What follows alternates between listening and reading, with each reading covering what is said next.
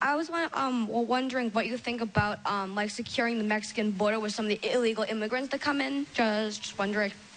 Well, look, I voted uh, uh, numerous times when I was a senator to spend money to build a barrier to try to prevent um, illegal immigrants from coming in.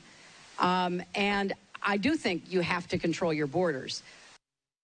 Mexico is such an important uh, problem. Mexican government's policies are pushing migration north. There isn't any uh, sensible approach except to do what we need to do simultaneously, you know, secure our borders with technology, personnel, uh, physical barriers if necessary in some places, and we need to have tougher employer sanctions, and we need to try to incentivize Mexico to do.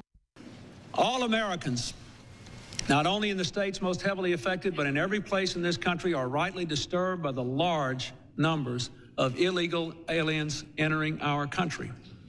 The jobs they hold might otherwise be held by citizens or legal immigrants. The public service they use impose burdens on our taxpayers.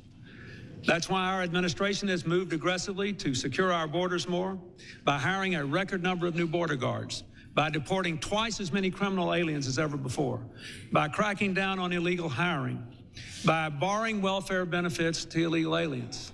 In the budget I will present to you, we will try to do more to speed the deportation of illegal aliens who are arrested for crimes, to better identify illegal aliens in the workplace, as recommended by the commission headed by former Congresswoman Barbara.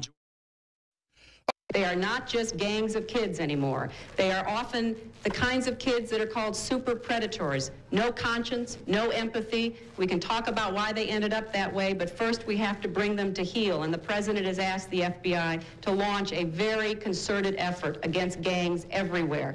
In addition to that, he has appointed a new drug czar. You probably saw him Tuesday night. He's one of the most distinguished. Uh, All right. And then you can go.